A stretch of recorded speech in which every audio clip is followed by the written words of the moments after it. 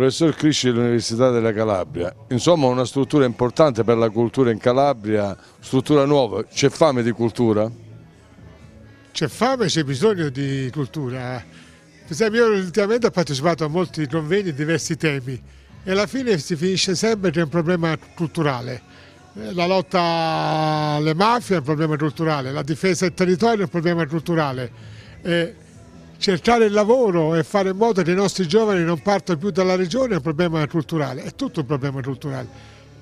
Più si cresce culturalmente e si capisce in quale contesto si vive, più le stanze aumentano e aumentano anche le opportunità. Quindi tutto quello che nasce nell'ambito della cultura in Calabria, soprattutto nelle aree più interne, che sono quelle generalmente sempre più dimenticate, secondo me è un fatto positivo. Per questo mi sembrava giusto partecipare oggi qui e rappresentare l'Unical, che in fondo è un'altra struttura culturale del territorio.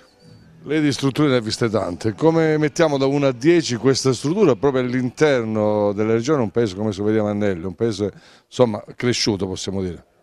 No, io sono rimasto, mi hanno invitato, l'ho già visitata e credo una cosa incredibile, veramente è andata bene e progettata anche bene poi, cioè integrata dove si è sposata la, la, concezione moderna di fare cultura, cioè quella di fare spazi modulari che possono essere utilizzati per molte cose, dal lavoro agli spin-off. Per me è un complimento, io credo che merita al massimo.